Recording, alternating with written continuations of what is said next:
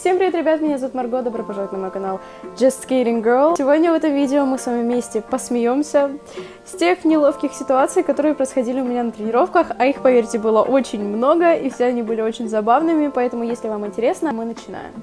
We are out on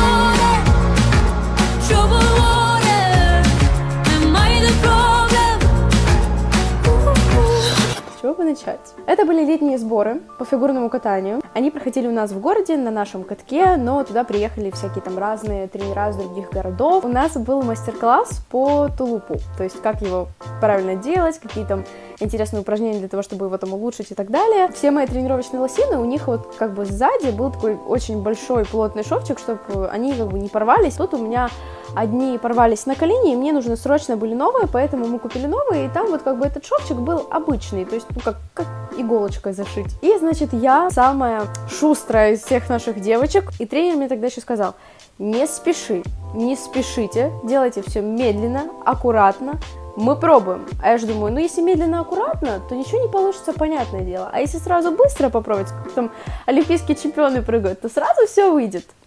Угу. Нет, плохо. Прыгаю тулуп, естественно, падаю. Думаю, а, ничего страшного, ладно. Встаю, мы начинаем делать перебежку вперед по кругу, вот по маленькому. И мне э, девочка, которая едет сзади меня, говорит, у тебя там на штанах дырочка.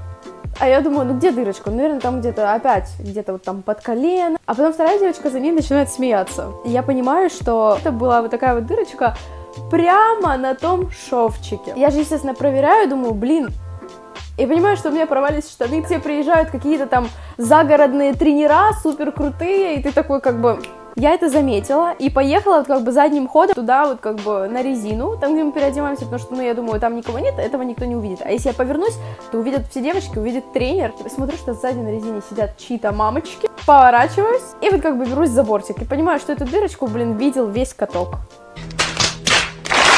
Это было утреннее время тренировки, а каток у нас находится в торговом центре, и там было очень мало людей, и никто этого, слава богу, из людей не видел. Но зато эту историю потом помнил э, весь каток. И этот тренер потом меня постоянно подкалывал, что ты не спеши. Я просто потом пошла на резину, э, переоделась, точнее, сверху одела просто джинсы, слава богу, что я всегда сверху одеваю еще какую-то одежду, то есть потом снимаю лосины, то есть у меня всегда есть переодевачка, я не хожу в том, в чем тренируюсь и в жизни. После этого я на этой тренировке была самой медленной. Вот такая вот забавная история того, как я порвала свои штаны на тренировке. Спасибо вам большое еще раз за ваши подписки, за ваши лайки. Я вас очень сильно люблю. Ну и встретимся с вами в следующем видео. С вами была я, Марго. Всем пока, всем до новых встреч. За вас.